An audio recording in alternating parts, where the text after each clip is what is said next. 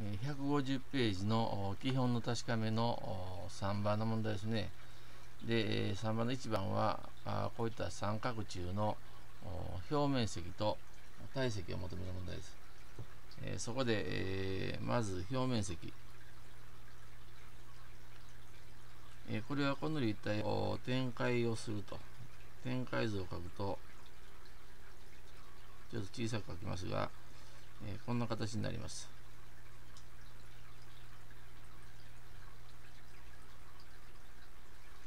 で、えー、この部分があこの部分つまり20センチ。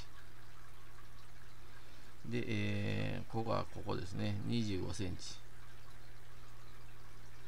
でこの部分があこれこれに当たるから15センチ。それからこの12センチというのは、ここ直角でこうあここ直角じゃないか。あこう下ろしたこの長さが12センチ。これが12センチ、高さに当たる部分が18センチ。こうなってます、そこで、えこの側面の長方形とそれから上下の三角形の面積を足せばよいと、え側面の方は 18×20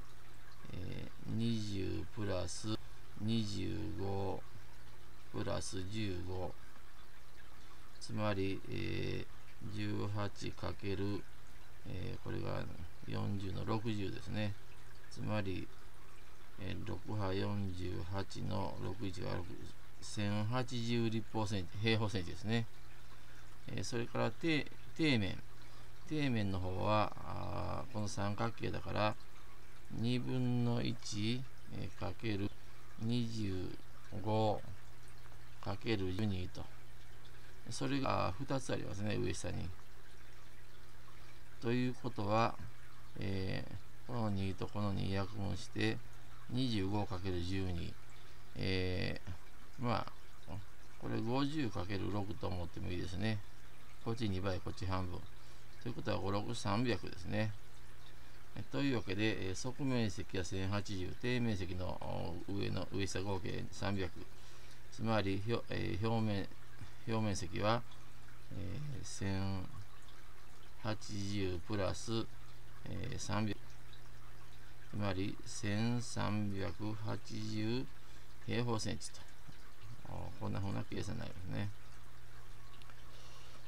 え、一方体積の方ですが体積は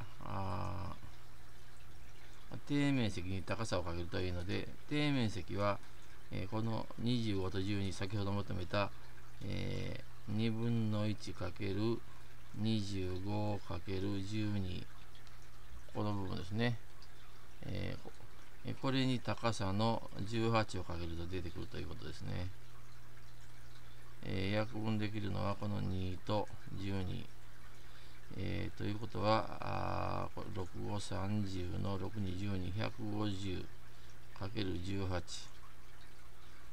うん、面倒なので、ちを2倍して300にして、こっちを半分にして9と。3区27。2700ですね。2700立方センチと。こんなふうになりますね。